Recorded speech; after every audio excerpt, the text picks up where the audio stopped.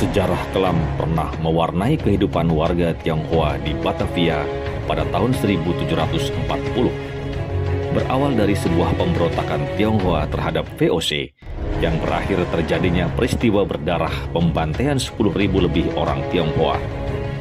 Aksi berdarah yang menyerupai genosida ini kemudian dikenal orang-orang di Batavia dengan sebutan geger pecinan atau tragedi Angke penjarahan dan pembunuhan orang Tionghoa terjadi.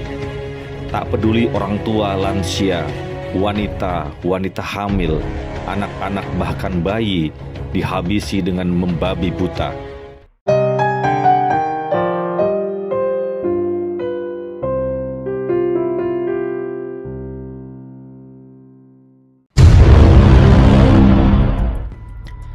Tragedi ini berawal dari krisis ekonomi dan politik yang menimpa VOC di Batavia pada akhir abad ke-17.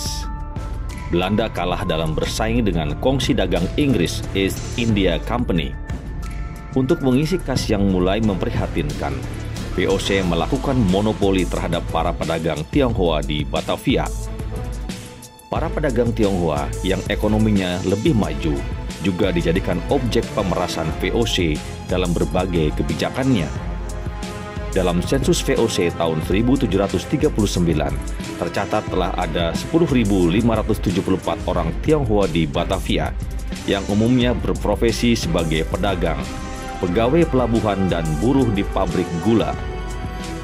Orang Tionghoa telah menjadi denyut nadi perdagangan di Batavia Kondisi tersebut membuat VOC mulai membatasi jumlah orang Tionghoa di Batavia dengan memperlakukan sistem kuota dan izin tinggal. Namun, aturan baru itu tidak banyak membantu karena malah banyak pejabat VOC yang bermain dengan memanfaatkan dan menyiasati sistem kuota.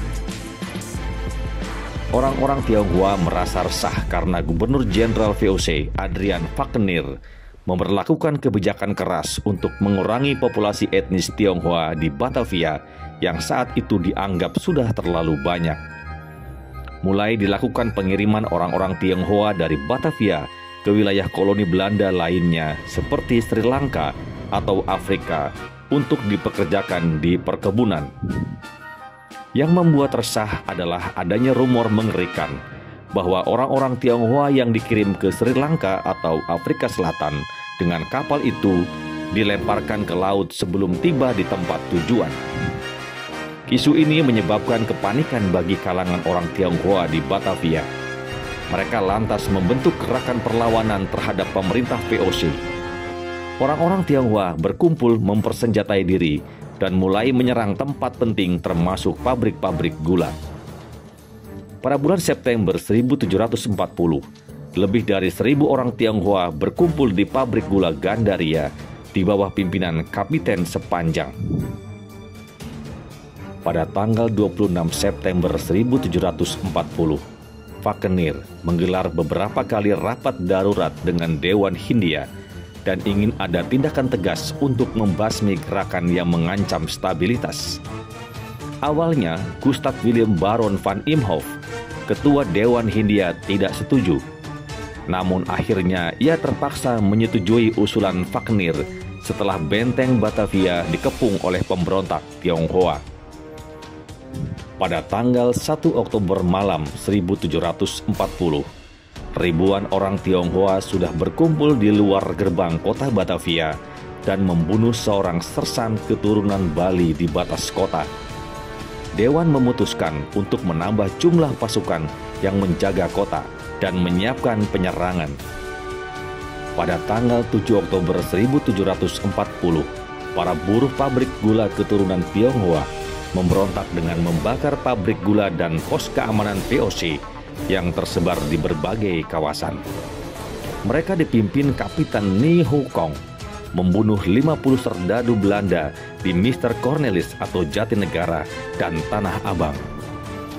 Aksi itu membuat Faknir marah dan mengirim 1.800 tentara dibantu milisi dan 11 batalion wajib militer. Mereka menerapkan jam malam dan membatalkan perayaan Tionghoa yang sudah dijadwalkan. Mereka yang tinggal di dalam kota dilarang menyalakan lilin dan disuruh menyerahkan semua barang hingga pisau paling kecil sekalipun. Pada tanggal 8 Oktober 1740, ada sekitar 10.000 orang-orang Tionghoa dari wilayah sekitar Batavia, termasuk Tangerang dan Bekasi, turut bergabung dalam pemberontakan. VOC pun berhasil menangkis serangan itu dan membunuh 1.789 orang Tionghoa. Pada tanggal 9 Oktober 1740, Wagner mengerahkan pasukan militer yang lebih besar. Serdadu VOC mulai mengatasi situasi dan mulai berbalik mengejar para pemberontak. Sejak pagi hari, ratusan serdadu Belanda disebar untuk membersihkan orang-orang Tionghoa di Batavia, baik yang menetap di dalam benteng maupun yang ada di luar. VOC mulai kehilangan kontrol dengan menyerukan pembantaian orang Tionghoa. Tua muda, pria wanita, bahkan bayi hingga lansia dihabisi dengan membabi buta. Bahkan mereka yang sedang dirawat di rumah sakit, wanita hamil dan sedang menyusui dibantai seperti domba. Sekitar pukul 5 sore, Serdadu Belanda pimpinan Letnan Hermanus van Soetelen dan Kapten Jan van Oosten mulai menembakkan meriam ke arah rumah orang-orang Tionghoa sampai terbakar. Sehingga orang Tionghoa tewas terbakar atau ditembak saat keluar rumah. Polemik semakin membesar karena beredar gosip di kalangan pribumi bahwa orang Tionghoa berencana membunuh atau memperkosa orang pribumi atau menjadikan mereka sebagai budak. Akibatnya para pribumi berbagai etnis mulai membakar rumah-rumah milik orang Tionghoa di sepanjang kali besar. Pada tanggal 11 Oktober 1740, Wagner menyuruh para opsir Belanda untuk menghentikan penjarahan tetapi tidak berhasil. Pada tanggal 13 Oktober 1740, semua pembakaran berhenti dan tidak tampak seorang pun Tionghoa di dalam kota. Semua jalan dan lorong penuh mayat. Kali-kali ditimbuni mayat, sehingga orang dapat menyeberang di atas mayat-mayat tanpa kakinya menjadi basah. 14 Oktober 1740, Wagner memanfaatkan situasi ini dengan membuat sayembara dengan hadiah besar untuk setiap kepala orang Tionghoa yang berhasil dipancung. Akibatnya, orang Tionghoa yang selamat dari serangan pertama mulai diburu para bandit yang menginginkan hadiah itu. Para pelaut, serdadu warga Belanda dan Eropa, hingga budak pribumi turun ke jalan mencari dan membunuh satu persatu orang Tionghoa yang ditemuinya. Lokasi pembantaiannya mulai di Angke, depan toko merah hingga balai kota. Di balai kota ada 200 orang tahanan, semuanya ditusuk sampai mati. Pada tanggal 22 Oktober 1740, Gubernur Jenderal Wagner memerintahkan agar semua pembunuhan dihentikan. Kesalahan sepenuhnya ada pada orang Tionghoa. Dia mengajak orang Tionghoa untuk berdamai kecuali pemimpin pemberontak. Pada tanggal 25 Oktober 1740, masih ada pertempuran kecil di mana 500 orang Tionghoa bersenjata berangkat menuju Cadowang atau Angke tetapi dihalau oleh kavaleri di bawah pimpinan Mr. Christopher Moll serta Cornet Daniel Chitz dan Peter Donker.